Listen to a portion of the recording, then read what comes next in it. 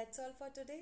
I hope you like these designs. If you like it then please hit the like button, share this video with your friends and do not forget to subscribe my channel and also click the bell icon to get the latest designer wear updates. See you in the next video.